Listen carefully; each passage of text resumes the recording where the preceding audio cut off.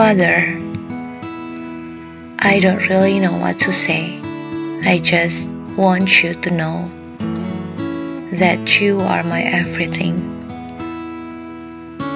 Knowing you, having you, is the most, the best thing I could have in this life. I want you to know that I trust you with all of my heart, Lord. I trust you more than I can trust anyone or even myself because you never fails me.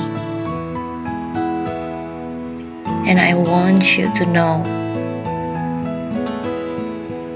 I love you. I don't have a perfect love for you, Lord, but I do love you. And I don't want to make you sad. I want to give you all of my heart, my mind, my soul, and my strength. Help me to make it, Lord. Because in you, nothing is impossible. Mark chapter 12, verse 30.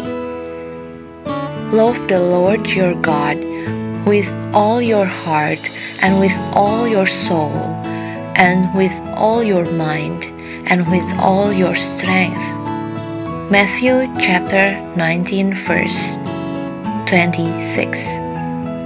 Jesus looked at them and said, With men this is impossible, but with God all things are possible.